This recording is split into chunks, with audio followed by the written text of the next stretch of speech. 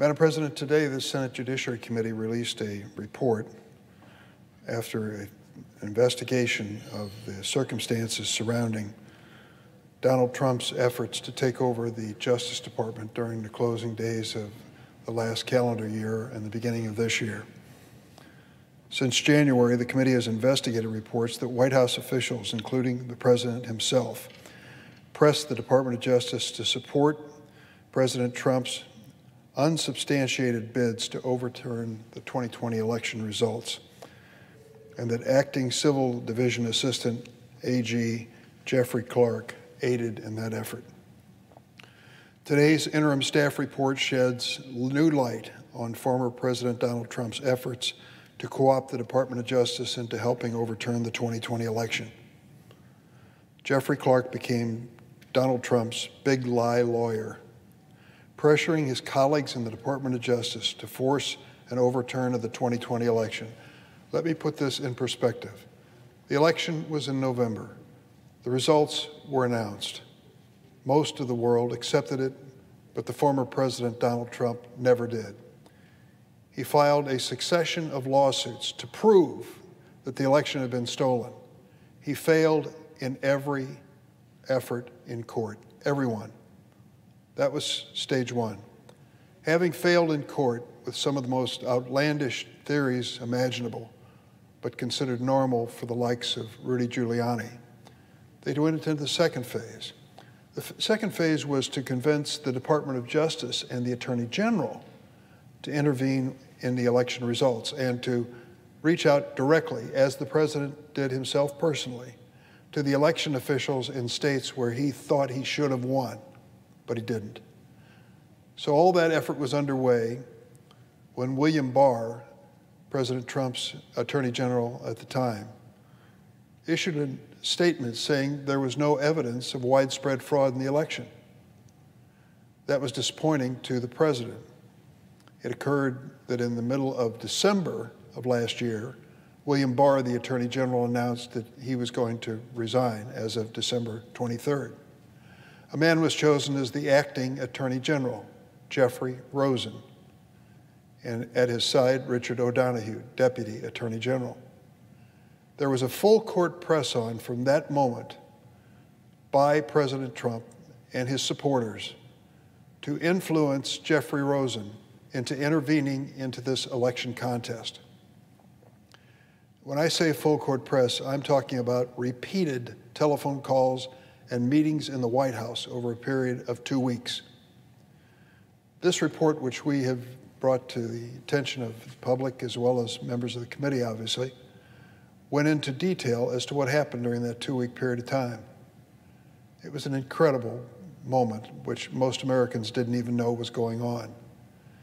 We were a half step away from a full blown constitutional crisis. Because what the president was trying to do was to convince the attorney general to contact the leaders in the states where he thought, the president thought he had won the election, and to tell them to not certify the results and to pick an alternative set of electors in some instances. In each of these cases, the president was, President Trump was pushing a theory on why he actually won. These theories were, went from crazy to silly to outlandish. Let me give you one of them. It was called Italy Gate. I hope you caught this one because naturally Rudy Giuliani was somehow involved in this. Some notion that Italian satellites were intercepting the voting machines in America and changing the results against Donald Trump. That's the nature of things. In the state of Georgia, the president and his supporters were arguing that they had videotapes proving that people brought in suitcases full of ballots. And they showed these videotapes.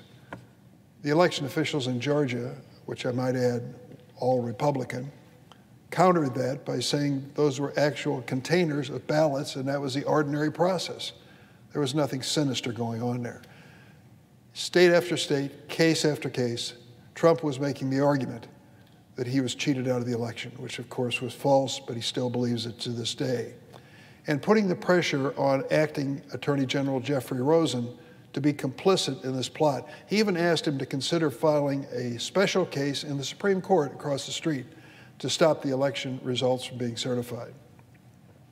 Our report shows that Jeffrey Rosen and the deputy, Richard O'Donoghue, resisted this from the start.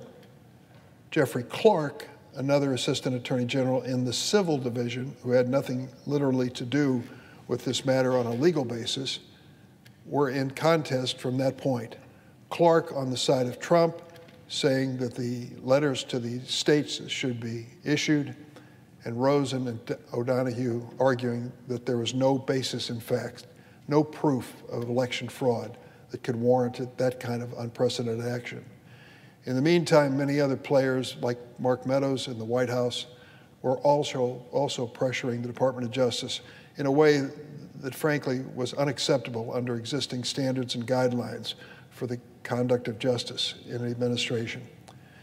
The net result of it was a fateful day, I believe it was January 3rd of this year, when the president called Rosen, O'Donoghue, Clark to the White House uh, to pursue his effort to replace Rosen with Clark, a more complicit person in the process.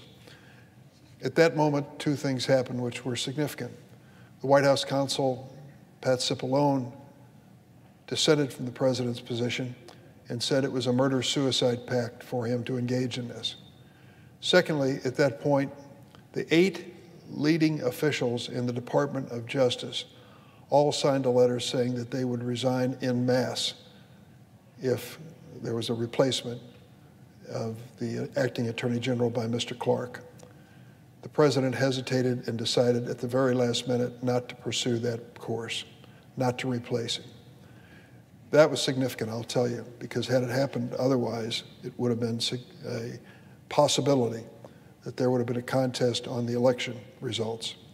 What did the president do next after deciding that? Well, just for good measure, he ended up uh, firing the U.S. attorney in Georgia who refused to buy his outlandish claims. It was the president's way of protesting that particular U.S. attorney, Mr. Pak's independence in the situation. What followed? We know what followed. In a matter of three days, this present, former president, desperate in his situation, having failed in every court case, having failed to take over the Department of Justice, decided to take his cause to the streets. We saw it in the United States Capitol three days later on January 6th. The president turned loose a mob, a mob that was supposed to stop us from counting the electoral votes and electoral ballots. Now, most people say, well, we've heard most of this story before, so what's the point of it? The point of it is that we were so close to a constitutional crisis at that moment that it bears continued investigation and disclosure. So the American people know that we should never be complacent when it comes to our rights as citizens and to our responsibilities to our Constitution. This president, former President Donald Trump, would have shredded the Constitution to keep his office in the presidency. There is no doubt in my mind. And to think that we had reached that stage in history is certainly worth reflection for a moment. What more should we do going forward to make certain that we protect this democracy from the likes of Donald Trump or any of his successors in interest? That, I think, is a major responsibility that we face. I hope that this report from the Senate Judiciary Committee will reopen the conversation. I hope as well that the Select Committee in the House on the January 6th occurrence, the mob insurrection here at the Capitol. We've submitted this evidence to them. I hope it is a benefit to them as they move forward. And I certainly hope that on a bipartisan basis, we can decide that the ordinary course of action with a valid legal election deciding the future of this country is always the best route in a democracy.